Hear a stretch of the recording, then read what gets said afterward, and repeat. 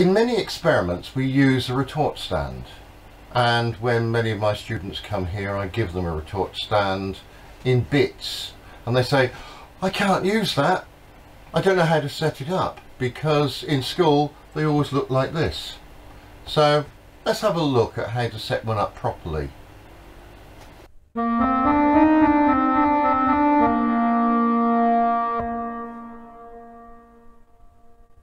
we're going to have a look how to set up a retort stand.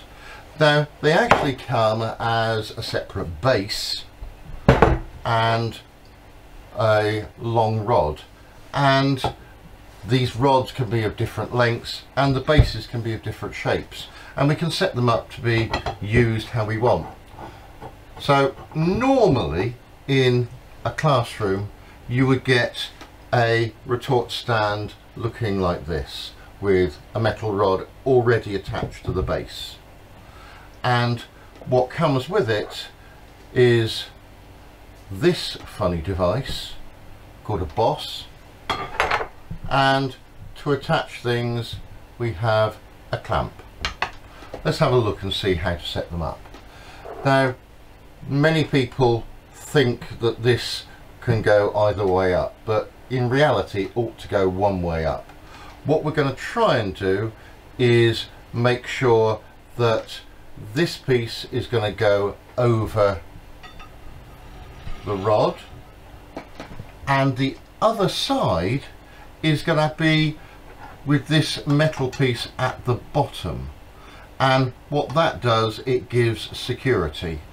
So we can now push this in tighten this one up and there we have our clamp set up so that if I want to I can clamp in that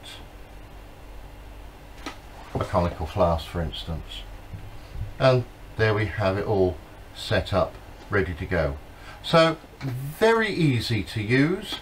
The only bit we have to remember is when we put this boss on to make sure that the bottom is the solid bit and then we can easily just push these things in or if you really want to you can loosen this one completely up and we can drop it in from the top. Although I usually find it's easier just to slide it in from the side. Once you've got it in then typically you can put it at the height you want.